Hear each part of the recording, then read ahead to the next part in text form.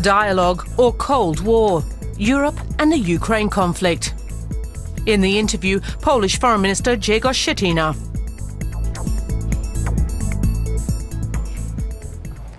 Minister, what do you see as the biggest challenge facing Europe? Security. That's the most important thing we have to think about. For centuries, generations of people have dreamed of a secure Europe, of a Europe which is developing, where people can live in prosperity, and of a Europe without borders, which is something so many people have wanted for so long. But now there's a question mark hanging over that security with regard to what's happening in eastern Ukraine right now. But also with a view toward developments in the Middle East or North Africa. All that means we have to alter our definition of security. How do you approach the current crisis in Europe? What's Poland's solution? Polish foreign policy is part of European foreign policy. We try to influence that. Poland has to redefine its foreign policy and ensure that it's effective. There is no answer to the current global dangers other than a common, successful European policy on security and defense. A policy which recognizes dangers and contributes to finding solutions. When we talk about dangers in Europe, then we're talking about the situation in Ukraine, the annexation of Crimea, the aggression in the Donbass and Luhansk, and the other steps that Russia is taking in Ukraine. What do you see as Germany's role in solving the crisis? Germany is a very important country in the European Union and Europe. It has global influence. It's important that Germany flexes its economic muscle, but it also needs to use its skills and its knowledge about the international situation and apply its values as well.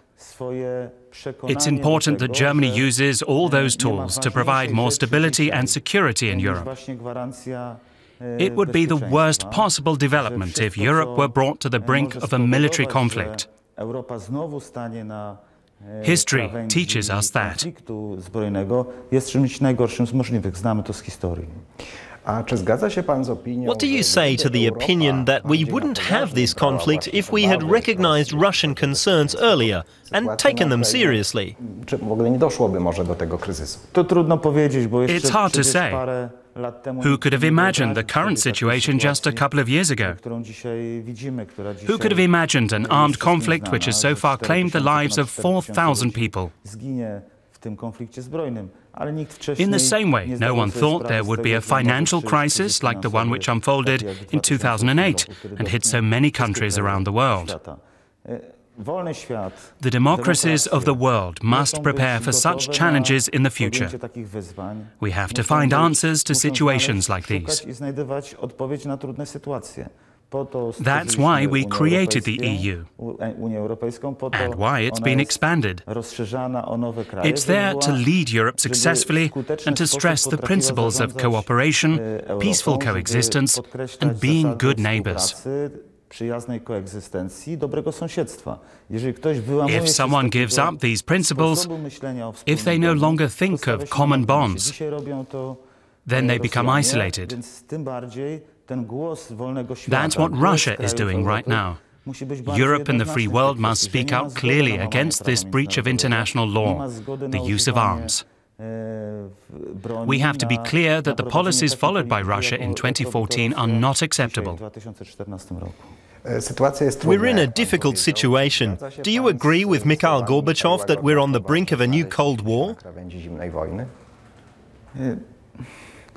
It is a real danger, but I don't believe history will repeat itself. The Cold War was the result of the division of Europe into spheres of influence of two superpowers. We have a different situation now compared with the late 1940s. There are numerous possibilities for cooperation and dialogue. It would be disastrous if we did not use them and ended up regressing to a state of war, whether it's a Cold War or a real one.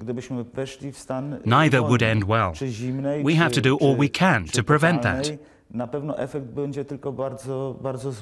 The most important thing, and that is vital for the future, is that we succeed in convincing Russia to move away from its aggressive behavior. Policies like the ones they are following in eastern Ukraine should not be tolerated. Polityki w taki sposób, jak to się dzieje, jak to widzimy na wschodniej Ukrainie. A few days ago, Russia expelled Polish diplomats. How are relations? stosunków polsko-rosyjskich w tej chwili? On nie jest, nie jest dobry. They aren't good. Ale nie znam krajów w Europie, które I don't know any European country that has good relations with Russia at the moment. tych e, złych relacji. Nie chcemy But we don't want an escalation. Chcemy, chcemy szukać We believe that the sanctions against Russia should remain in place and that they will be effective. przyjęte przez kraje wolnego świata w stosunku do Rosji są czymś Still, stałym i one we want to maintain dialogue with Russia. Też uważamy, że Rosja, z Rosją trzeba And yet we have to make it clear that we oppose the breach of international law by Russia tematów do rozmowy. Jednocześnie bardzo and that we cannot accept the policies że nie ma zgody that they are pursuing.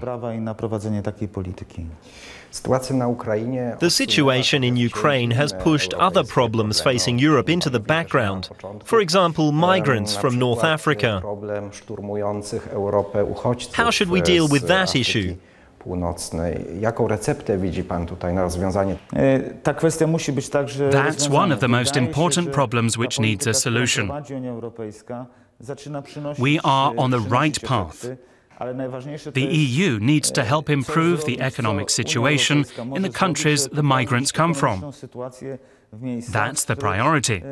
ci uchodźcy, które ci And we want to support those countries which are trying to Jak stawiać na transition from dictatorships to democracies. Racjonalny przechodzą od dyktatury do demokracji, jak chociażby Tunisia is a good example of a country which is developing its own ideas and is a good partner for Europe. krajów europejskich, w której rozpoczynają się europejskie European companies are investing there and creating jobs. swojego miejsca w sposób taki bardzo racjonalny. Tunisia is dealing with this process very reasonably. Libia. Więc uważam, że to też będzie It's a totally different case in Libya. będziemy musieli wszyscy podążać, oprócz oczywiście takiej europejskiej soda- solidarności z krajami, We have to support the countries and regions the migrants arrive in. Uchodźcy, które- którzy są poważnym problemem dla budżetu. Like Southern Italy, Malta, prawda, czy Lampedusa, Malta or Spain. Czy Hiszpania. To wszystko są problemy, które to nie, nie The problem shouldn't be theirs alone. kłopoty tych krajów, gdzie ci uchodźcy, nielegalni uchodźcy się znajdują. The EU should deal with it jointly. Całej Unii Europejskiej i tym się musimy zajmować. A jak pan minister w ogóle ocenia Do you agree with your predecessor or former President podpisał Lech się pan pod Wałęsa, who said they were more worried by German passivity than by German leadership? pan bardziej bezczynności Niemiec niż ich przywódcy? Niemcy są aktywne. Mają Germany is an active partner and has introduced a lot of different ideas. przykład współpracy, którą mamy, For example, the cooperation among the members of what's called the Weimar Triangle, uniting Germany with Poland and France. spojrzenie na europejską politykę sąsiedztwa, na It's shaping a new policy towards Europe's neighbours, including policy decisions regarding countries to the east and south. To jest ważne. It's important that this group shape and influence European policy. Krajów budować i wpływać na Our three countries have vast Mieć na nią experience and a wpływ, ponieważ to są variety of perspectives. In the past, we've often proven our ability to come up with good solutions. czasów Ostatni, z, z ostatnich czasów, jakby z różnych The Weimar Triangle offers a good chance to redefine European uważam, że właśnie policy. Trójkąt Weimarski jest pozytywnym i może być taką wielką szansą na nowe zdefiniowanie polityki europejskiej. No tak, ale czy nie odczuwa pan dyskomfortu? Don't you feel a little uneasy when Germany and France hold joint talks with Ukraine and Poland is left out? Niemcy, Francja bez Polski. Odczuwałbym do wczoraj. I felt that way until a few days ago. But President Poroshenko is now saying that, in his view, the Weimar Triangle would provide the best framework for a resolution of the conflict. trójkątu weimarskiego w It would be worth restarting the talks within that circle. Ukraińskie, kwestie konfliktu na, w Europie Wschodniej i warto Back then, when the wrócić. To znaczy, że situation on the Maidan was at its most difficult in February this year. A przypomnę, że w lutym, It was the foreign ministers of Germany, France and Poland who prevented even more bloodshed. Francji i Polski, oni decydowali o tym, że przestała się przelać ukraińska krew. Od 1 grudnia Unia There will be a new head of the European Union on December 1st. What priorities will Donald Tusk take on? europejskiej spodziewa się po pan, pan po przywództwie Donalda Tuska? Bardziej na pewno takie spojrzenie... He will place more emphasis on the viewpoints of the new Europe, that's for sure. Czytanie zagrożeń z, I expect that he'll be quicker to recognize dangers and conflicts in Eastern Europe. Tym, że, trzeba być Donald Tusk stands for decisive policies, for ideas and debatować nawet w dynamism.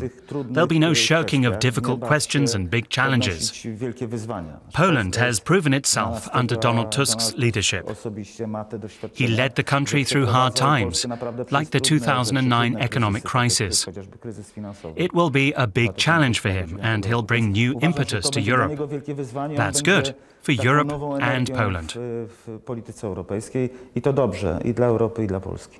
W- wiemy, Last question. You're known for playing lubi pan grać chess. How similar is it to dyplomacja diplomacy? Przypomina panu grę, grę w szachy. A, ja lubię grać w szachy, ale lubię grać... I like chess, but I prefer speed chess. You play bo jestem z fast. I'm impatient by nature, but I'm working on it. żeby się cierpliwości There are similarities, but politics is a lot more demanding than chess. to coś jeszcze dużo poważniejszego Sure, you need to act decisively in both. You need to plan ahead and be quick to see what's coming. That all helps in politics. przewidywanie tego, co może się zdarzyć, przydaje się w polityce. Panie ministrze, Foreign Minister, thank you for your time. Thank you. państwu.